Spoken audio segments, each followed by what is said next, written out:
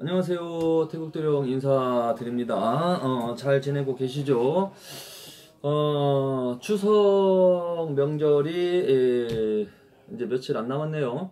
어, 지인분들 에, 뭐 이렇게 에, 선물 같은 거 주실 거 있거나 챙기셔야 될 거 있으면 그냥 그냥 어, 이렇게 조금 이제 생각해 보시고 어, 이럴 때에 에, 좀 음, 서로 어, 지인들, 친구들, 에, 친척들하고 어, 약간의 에, 교류 할 수 있는 것도 좋은 거라고 보고요.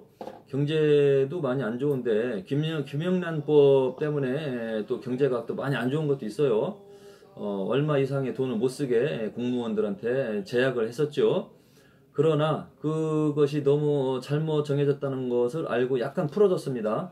금액이 5만 원에서 아마 10만 원까지 쓸 수 있도록 어, 그렇게 했던 것 같아요. 10만 원 이상이 넘어가면 뇌물성으로 보이기 때문에 음, 뭐 그걸 이제 이렇게 이제 공무원들 부패, 예, 적폐청산하기 위해서 어, 그렇게 이제 법으로 다스려 놨던 것 같은데 그런 것 때문에 식당도 울상이고 선물 파시, 파는 분들도 어, 비싼 게 안 나가니까 일단은 좀 매출이 안 오르고 금전적으로 힘들죠.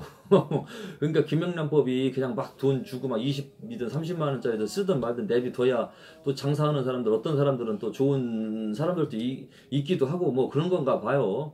근데 안 보이는 부분은 그렇게 뇌물이 왔다 갔다 하면은 어, 청렴하지 못하고 청정하지 못하기 때문에 에, 좀 사회가 좀 먹어가고 썩어가거든요. 왜냐면 뇌물과 돈에 의해서 어, 하지 말아야 될 행동을 할 수밖에 없거든요. 뇌물을 받아 먹으면. 그러니까 입을 축인 놈이 신경 쓰게 돼 있거든. 예? 뭐 이렇게 받아 쳐 먹으면 어, 신경을 쓸 수밖에 없거든. 그게 뇌물성이니까. 근데 다행히 김영란법은 음, 5만 원으로 정했다 10만 원까지 올린 걸로 알고 있어요.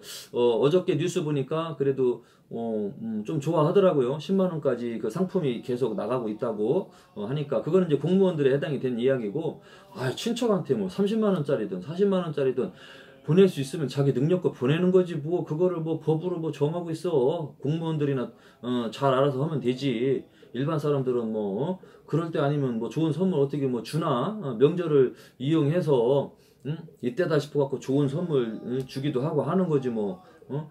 아무 때도 아닌데 뭐, 뭐 고가의 선물을 주면 그게 뇌물이지 뭐 그렇잖아요. 근데 아무튼 음, 그런 거 잡는다고 해서 공무원들이 뭐 청렴해지는 건 아닌 것 같아요. 어, 안 좋은 짓 하는 공무원들은 계속해서 안 좋은 짓 하니까 응? 지금 뭐 법 사법부도 뭐 법 재판하시는 분들도 지금 뭐 어? 비자금 만들었고 지금 뉴스에 보면 법을 다루시는 분들도 어, 아주 법을 어기는 그런 행동들을 조금 음, 이거는 뭐 확정난 건 아닙니다. 뭐 하는 그런 어, 문제가 좀 음, 약간 검찰 쪽에서 어, 이렇게 포착이 된 것 같더라고요. 어, 포착됐다. 포착 상태지 뭐 결과가 나왔다는 거 아니에요. 음, 법원 판사님들이 뭔가 어, 법을 어, 어긴 어, 이렇게 하면 안 되는데 뭔가 한 뉴스에서 나오더라고요. 어.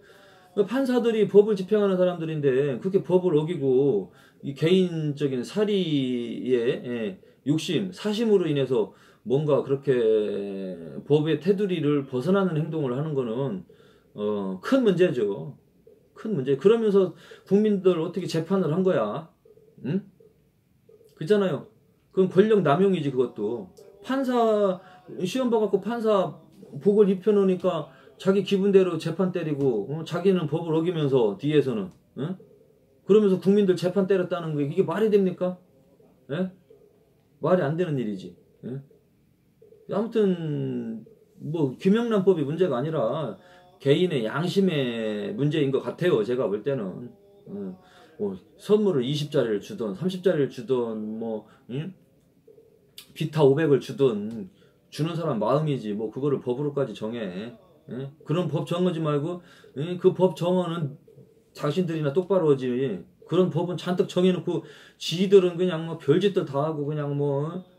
기업에서 뇌물 받아먹고 뭐 이렇게 인정해주고 승인해주고 어? 뭐 그러잖아 그것이 알고 싶다 나오대 예? 법을 다루면서 뭐 김영란법 그런 거는 정해놓으면서 지들은 뭐 어? 자기들은 뭐 어? 그 설립 허가 같은 거 내주지 말아야 되는데 내주고 돈 벌게 도와주고 예, 뭐 그런 짓을 하고 그래. 시장들이나 뭐 이런 사람들도. 그게 그것도 문제인 거예요. 정치하는 사람들도 썩은 사람이 많이 있다는 얘기야. 어, 문제야, 문제. 이거, 어? 양심의 문제인 거죠, 양심.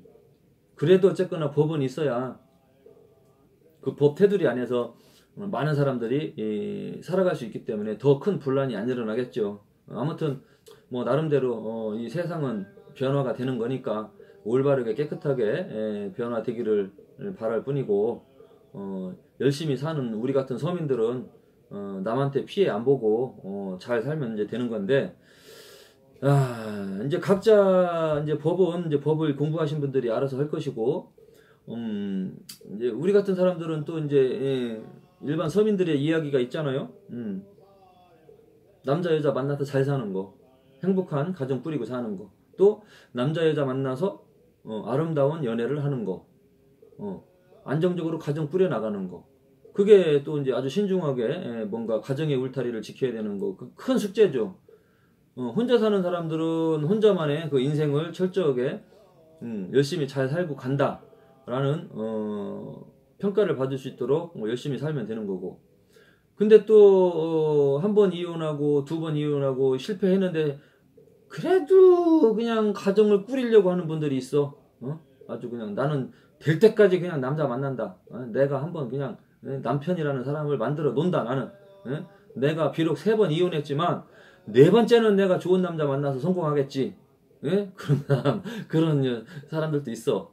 어떤 사람은 한 번만 딱 깨지고 나면 내가 두 번 다시 결혼을 안 한다, 내가. 어? 그냥 만나기는 해도 내가 가정 꾸리고 결혼은 안 한다. 라는 사람도 있고, 아예 결혼도 한 번도 안 해보고 나는 결혼 안 하고 살겠다. 자기 엄마 아빠 사는 거 보고, 어, 독신주의자를 어, 이렇게 선언한 요즘 청년들 예, 많이 와요, 여기. 결혼 생각이 별로 없더라고 요즘 젊은 사람들은 그왜 그러냐면은 주변에서 이혼을 너도 나도 밥 먹듯이 하고 자기 엄마 아빠 사는 거 보니까 행복하지가 않은 거야. 맨날 지지고 볶고 막 그렇게 막 싸우고 술 먹고 막 그냥 막 큰 소리 내고 밥상 뒤집어 엎고 막. 그러니까 얘가 어렸을 때부터 스트레스 받으니까 그 가정에 대한 결혼에 대한 환상이 깨진 거야. 그런 사람들이 많더라고요. 그러니까 능력이 있는 사람들은 여자들은 혼자 살려고 하는 독신주의자들이 좀 많이 있는 음, 어, 흐름이더라라는 거 제가 또 느끼게 됐고. 그래도 남편이라는 존재를 옆에다 만들어 놓고 어, 결혼해서 그래도 어쨌거나 내가 세 번은 깨져서 네 번째는 성공하겠지. 그래갖고 어, 괜찮은 남자 찾고 있는 어, 아줌마들이 여기 옵니다. 상담하러. 만날 수 있겠시요 없겠시요 어? 이번에 이 남자 만났는데 괜찮겠나요? 안 괜찮겠나요? 어, 이렇게 옵니다. 물어보러. 왜? 한 번 깨지고 두 번 깨지고 세 번 깨지다 보니까 이야 이게 내 뜻대로 안 되는구나 나 사랑해 줄 줄 알았는데 와 보니까 속썩이는 인간들이네 에?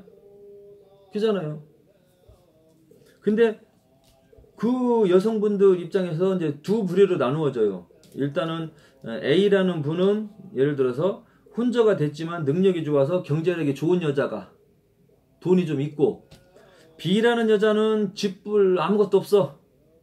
직장도 못 다니고 그냥 뭐 할 줄 아는 것도 없고 그냥 뭐 겉만 번지르르 해가지고 어, 먹고 살기 바쁘고 이 직장 저 직장 왔다 갔다 하고 그러고 있어 B라는 여자는. 근데 이 사람들이 가정을 꾸리려고 해.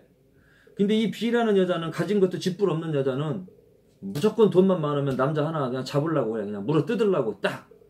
돈만 많으면 그냥 결혼한다 이거야. 안 봐 이것도 저것도. 뭐 묻지도 않고 따지지도 않고 그냥 막 그냥 씹어 그냥 막 남자를 꽉 물어버린단 말이야. 왜? 아 이 지금보다 낫겠지. 지금 막 혼자 살기도 그냥 빡빡하고 힘든데 돈 좀 있는 남자 같으면 그냥 오빠 오빠 해갖고 그냥 응, 자기 딛고 살면 좋을 거 아니오. 그거 생각하는 거죠. 경제력이 없는 여자는. 그러다가 운 좋으면 또 이제 돈 좀 있는 사람 만나면 돈 좀 쓰고 다니게 되고 운 나쁘면은 또 대통또 한 바가지 써갖고 더 비참하게 에? 예? 살다가 또 그 운명을 또 극복하지 못하고 또 거지같이 살게 되는 여자도 또 있고 어. 또 A라는 여자는 이제 조금 전에 얘기했지만 경제력이 좀 있는 여자 자기가 장사를 하든지 사업을 하든지 음, 첫 번째 두 번째 남편들이랑 이혼하면서 어, 좀그 이혼 위자료를 조금 두둑히 챙겨 받았다든지 뭐 그런 이제 경제력이 있는 어, 스타일 그 두 부류가 어, 틀립니다. 어떻게 틀리냐? 돈이 없는 여자는 그냥 아무나 그냥 자기 그냥 데리고 살 남자면은 무조건 만나려고 해. 그냥 얼굴도 안 봐. 그냥 돈만 있으면 멋지게 보인디야. 얼굴은 막 그냥 막 인상파에다가 막 이? 무식하게 생겨도 멋있게 보인디야. 돈 많으면. 근데 돈이 있는 여자는 이거 따지고 저거 따지고 얼굴 따지고 성격 따지고 엄청 깐깐하게 따져 또 어? 자기 돈 어떻게 할까봐 막 응? 자기가 이제 예? 좀 능력도 있고 하니까 그냥 웬만한 남자는 또 눈에도 안 차. 응? 혼자 사는 게 낫지. 내가 어영부영한 놈이랑은 안 살겠다 이거지 이제. 그러다 보니까 이렇게 또 어, 새로운 인연을 만나는 게 쉽지는 않고. 근데 아예 없는 여자는 쉽게 쉽게 만날 수 있어요. 그냥 아예 그냥 오픈이거든. 누구든지 와라. 그냥 나만 좋다고 하면 나는 만날 자신이 있다. 지금 혼자 사는 것보단 낫겠지. 쉽게 만날 수 있지. 없는 사람은. 근데 경제력이 뭔가 있는 사람은 그렇지 않아요. 묻고 따지고 이렇게 관찰하고 그렇게 간단 말이야. 같이 살아도 될, 신중하게 되죠. 여기에서 A라는 경제력이 있는 여자와 B라는 경제력이 없는 여자, 어, 재혼, 음, 새롭게 가정을 꾸리려고 하는 상황에서 벌어지는 현상을 이야기하는 겁니다. 제가 없는 여자는 괜찮아 그냥 몸만 건강하면 뭐 믿져봤자 본전이잖아 잘못될 것도 없잖아 살다가 안 맞으면 다시 나오면 되는 거고 더 이상 나빠질 게 없, 없거든요. 그러니까 잘 될 가능성이 커. 어차피 없으니까. 둘 중에 하나는 뭐 좋은 남자 만나서 그냥 사랑받고 또 어느 정도 몇 년은 가겠지 뭐. 네? 최소한 한 5년은 갈 거 아니요. 거기서 또 잘못되면 또 새로운 남자 만나서 5년 또 가면 되고. 왜? 그 사람은 그냥 사랑보다는 나를 편하게 해줄 남자를 찾고 있었던 거거든. 그러니까 그 사람은 그런 식으로 이제 예, 벌어지는 현상이 나더라고요. 근데 A라는 여자, 능력이 있고 경제력이 있는 사람은 아무나 안 만나요, 쉽게. 조심스럽지, 항상. 분석하게 되고, 꼼꼼하게 따지게 되고, 어. 그렇습니다. 근데 이때에 만날 때 에, 자기가 돈이라도 있고 장사라도 할 때 요럴 때 요 사람들은 조금 더 조심해야 돼요. 왜냐하면 어, 없는 상태에서 만나면 더 이상 잘못될 건 없지만 있는 상태에서 잘못 만나면 자기 돈 다 남자로 인해서 풍지박살 나는 경우가 있거든요. 그래서 돈이 있는 거와 재산이 있다면 그거를 감추어야 됩니다. 또 자존심 세우려고 막 귀금속에다가 좋은 차 타고 나가서 또 어? 멋지게 보인다고 또 막 그러고서 어, 새로운 남자 만나러 다니면 제대로 된 사람을 만나기가 어, 어렵습니다. 겉부터 지금 꾸며놨잖아. 치장해놨잖아. 응? 그러니까 순수한 마음으로 자기를 좋아해 줄 사람을 만날 수가 없는 거죠. 그지같이 하고 나갔어야지. 없는 것처럼. 있는 것도 숨기고. 그랬는데도 좋다고 하면 이 사람은 순수하게 나를 좋아하는 거야. 근데 좋은 차에다가 음, 외모 옷 입은 거 명품 백에다가 표시를 내고 나가서 만나면 제비족들은 알아보죠. 아, 이 여자 돈 좀 있구나. 어, 먹고 살만하구나. 잘해주죠. 배려하고 막. 왜 이 여자 눈에 들어야 되니까. 잘해주고 챙겨주고 자상하게 해주고 응? 잠자리도 아주 정성스럽게 잘 해주고 만족 되게 시키려고 그러겠죠. 결론은 뭐냐? 능력이 있는 여자들이 대부분 남자한테 당하는 경우를 많이 봤어요. 새롭게 만난 남자들이 대부분 사업한다고 하는데 사기꾼들, 어? 뭔가 자기 일을 하는데 알고 보면 별볼일 없는 사람들, 어? 겉만 번지를 하지. 그런 사람들이더란 말이에요. 겉은 멀쩡한데 들여다보니까 빚이 잔뜩 잔뜩 돼 있고 빚만 잔뜩 있고 살다 보면 이 여자가 빚 갚아줘야 돼. 살다 보면 이 여자가 사업자금 대줘야 돼. 네? 또 무턱대고 혼인신고부터 했다가는 큰 낭패죠. 그것도. 만났다가 보따리 싸서 내보낸 사람들 많아. 같이 살다가 깜짝 놀래갖고, 야, 이놈 이거 살아보니까, 어? 한 6개월 살아보니까, 예? 아무것도 없구나, 이거, 어? 멀쩡하게 생기고 건강하고 뭐 사업 하는 줄 알았더니 사업도 잘 안 되고 있고 어? 자금도 돌지도 않고 이거 가진 거라고는 이거 그냥 쌍방울밖에 없구나 방울 두 개 달린 거밖에 없구나 알게 된 거지 근데 정신 번쩍 들으니까 이제 헤어지려고 쫓아낸 사람들도 있고 막 그래요 이, 이 남자는 없다는 소리도 하지도 않고 있는 것처럼 해갖고 이 여자를 예, 만나러 오고 정들고 꼬시러 온 거 들어온 거예요. 왜? 만날 때부터 잘난 체 했잖아. 사모님처럼. 응? 있는 것처럼. 또 자기 집 평수도 다 얘기하고. 나는 지금 음, 뭐 저희 집은 뭐 지금 60평대인데 뭐 어, 아파트 값이 올랐어요 뭐 막 그런 거부터 해갖고 어? 한 달에 저는 뭐 한 매출이 한 4, 5천 정도 되지요 그냥. 음, 뭐 막 그런 잘난 체 한단 말이에요 대화할 때 만난 지 얼마 안 됐을 때는 그런 얘기 안 하시는 게 낫죠 저는 그냥 월급쟁이 하고 있고 그냥 한 300만 원씩 벌어서 먹고 쓰고 그렇게 살고 있어요. 아무것도 없어요. 일부러 만나러 갈 때도 차 있어도 택시 타고 나가고. 에? 그렇게 해서 만나야지 제대로 된 사람을 만나지 먹고 살만하다고 막 겉으로 그냥 다 표시내고 좋은 자동차 타고 가면은 에? 나 얼마든지 에? 이용해서 사기 쳐먹으시오 하고 그렇게 하는 것밖에 없어요. 그럼 진솔하게 그 남자가 이 여자를 대하지 않지. 가식적인 걸로 행동을 할 수밖에 없죠. 왜냐하면 이 여자 눈에 들어야 되니까.